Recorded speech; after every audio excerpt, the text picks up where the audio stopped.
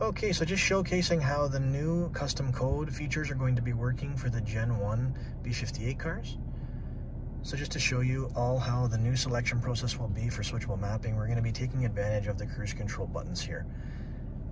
This is just a quick demonstration, and we're also showcasing the current statuses in the MG Flasher app of burble aggressiveness, the map switch state, and the current target engine coolant temperature that will indicate if we are in the max cooling uh, mode or not.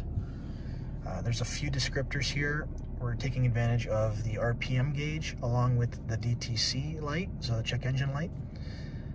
Through different blinking patterns, you'll be able to tell which mode you're in, just to kind of give the user a better idea of exactly where you are uh, in the current menu status. So to show you quickly here, if you hold the RES button, this will initiate the Octane switchable mapping menu. You'll have the fastest blink in this mode. You can scroll up and down with the rocker all the way through 0 and 4. This will indicate different map slots. Say I want to go to map slot 2. I'll click the set button to confirm my selection.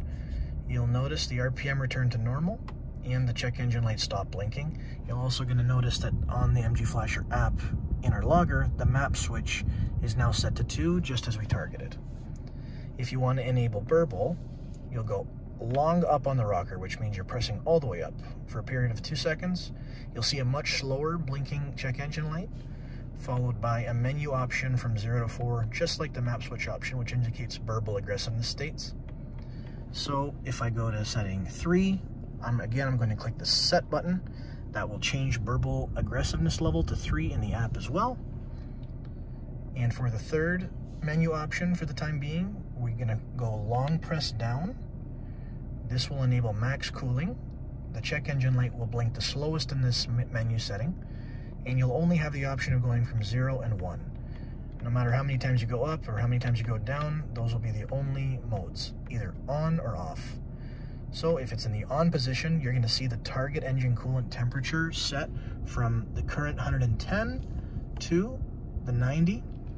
You'll be leaving the menu after you press that set button, and you'll then see all of the reflected variables update according to what we've just done. Now, as an added bonus, say you don't want to open up the app for whatever reason, and you just want to quickly check what mode you're in, you can also do so in the same way. So for instance, if we're checking Octane switchable mapping, we can see setting two. If we don't want to make a change, then we're not going to press the set, we're just going to press, press uh, resume.